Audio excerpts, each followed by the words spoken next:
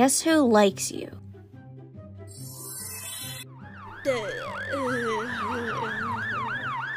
Enough. This is your last chance. Tell me if you're getting back with me or not. I'm not. Fine. You leave me no other choice. I'll give you three more chances.